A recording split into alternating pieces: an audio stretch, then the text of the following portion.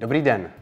Dnes se k nám dostal obrovský televizor napráskaný nejnovějšími technologiemi. Panasonic TX65 LZ2000E. Pojďme se na něj podívat. 65 palců už je pořádná telka, takže si pro přepravu a instalaci určitě zavolejte někoho k ruce. Krabice sice není nějak extra těžká, ale už pořádně velká. Nám se do kombíku vešla opravdu na centimetry.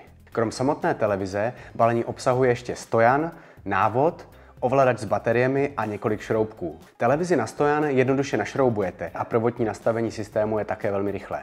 Design splňuje to, co u dnešní televize očekávám. Neruší podívanou.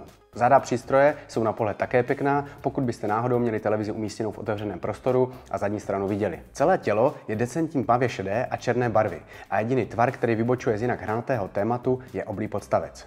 Vrchní a boční rámečky jsou příjemně tenké, jen spodní část se docela výrazně rozšiřuje. Je to proto, že se zde skrývá audiosystém televizoru, který je svou kvalitou více než nadprůměrný. Panasonic ho nazývá 360 stupňů Soundscape Pro a spolupracoval na něm se společností Technics. Nechybí zde technologie Dolby Atmos a o hluboké a dynamické basy se stará integrovaný subwoofer. Díky systému Spacetune je pak televizor schopný přizpůsobit zvuk danému pokoji, ve kterém se nachází. A technologie Beamforming dokonce umožňuje zacílení zvuku do konkrétního místa a vytvoření zón s různými zvukovými hladinami. Výčet technologií uzavírá Auto AI, která dokáže rozeznat, jestli se díváte na akční film nebo třeba na koncert a upraví podle toho charakteristiky zvuku.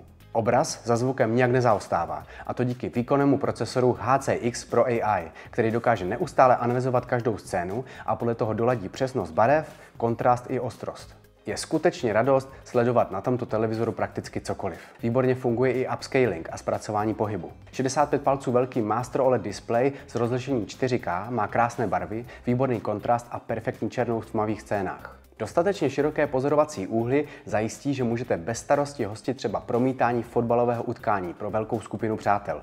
Televizor dále disponuje funkcí inteligentního snímání okolního světla, která detekuje teploty barev a jas okolního prostředí a podle toho optimalizuje obraz. Garantuje vám tak perfektní vizuální zážitek ve zhaslé místnosti v noci, stejně tak dobře, jako když vám do pokoje praží letní slunce.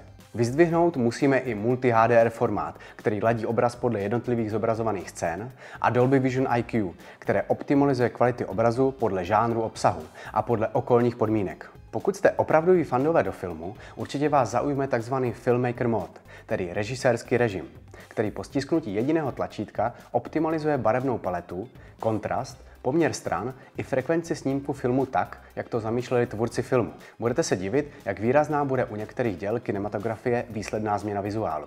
Televizor budete nejčastěji ovládat pomocí dálkového ovladače, který není ničím výjimečný. Krom tradičních tlačítek zde najdete dnes už také běžné zkratky na streamovací aplikace, jako Netflix, YouTube, Prime Video a Disney+. Televizor lze ovládat i pomocí hlasu, mluvením přímo do mikrofonu, ale to se nám příliš neosvědčilo, protože televizor moc nerozuměl. Vyzkoušet můžete taky ovládání pomocí hlasových asistentů, Amazon Alexa nebo Google Home, avšak pouze v anglickém jazyce. Operační systém My Home Screen je přehledný, běží svižně a spolehlivě. Jediné, co zde nenajdete, je aplikace Spotify, což je vzhledem k výbornému zvuku televizoru škoda. Snad i výrobce do budoucna přidá. Majitele herních konzolí potěší rychlé HDMI 2.1 vstupy a speciální herní režim Game Mode Extreme s technologiemi jako variabilní obnovovací frekvencí a AMD FreeSync Premium. Všechny parametry zobrazení, které jsou potřeba pro hraní, pak můžete sledovat a měnit v Game Control Boardu, tedy jakémsi herním centru televize.